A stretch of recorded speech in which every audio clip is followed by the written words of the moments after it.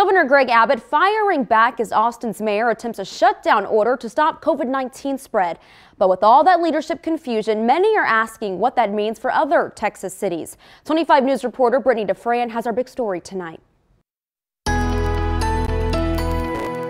Mayor Nelson mentioned when Dr. Birx came to visit a few months back, she commended the city of Bryan for how well they were doing to mitigate the spread of the virus, and the mayor attributed that to collaboration.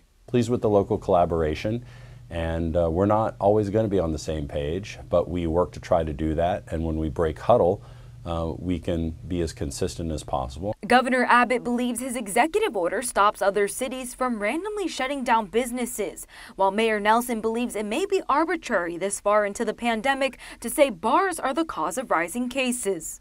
If it's the spread from families and gatherings, which I think people are constitutionally allowed to, to be with their families, uh, whether it's the holidays or not, um, it's hard to say that's the fault of the bars, so why do we shut down bars? 10 months into this when people who are vulnerable know they shouldn't be going into bars. He understands these rules need to be in place, but with the size of the state of Texas, maybe one size does not fit all.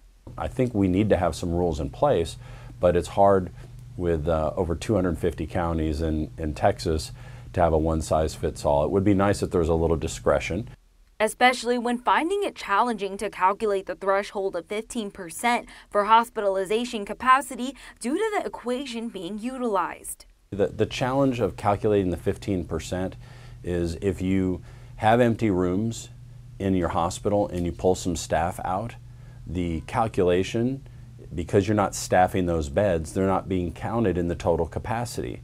Community leaders continue to collaborate and get through this difficult time with all hands on deck. We're all working together to try to manage a, a, a, terrible situation that none of us asked for.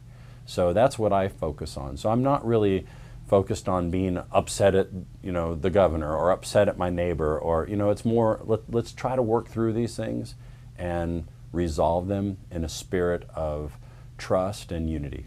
Mayor Nelson is dedicated to the people of Bryan and wants them to know that their spiritual, emotional, mental, and physical health of each individual is at the utmost importance. Reporting in Bryan, Brittany DeFran, 25 News.